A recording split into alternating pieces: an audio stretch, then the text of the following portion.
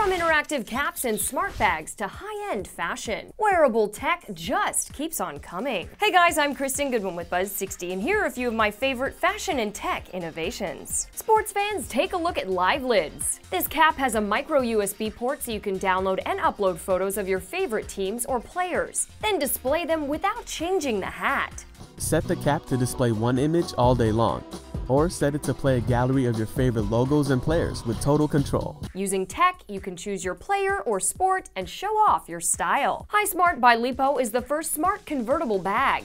This bag is so tech savvy you can answer phone calls with the touch of a button even if you don't have your phone on you. You can take selfies from a distance, and just in case you forget where you parked your car, the bag will help you locate it. Even high-end designers are launching tech accessories. Tory Burch launched her collection for the Fitbit Flex. From metal bracelets, rubber covers, or a pendant, Burch takes the fitness tracker's look up a notch. As tech and fashion continue to merge, I think it's safe to say wearables are here to stay. Buzz60, now you know, pass it on.